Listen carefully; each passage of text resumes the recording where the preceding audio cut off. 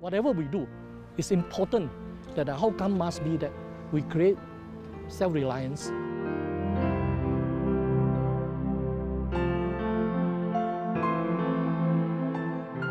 In Singapore, we know that there are a lot of schemes helping the needy residents.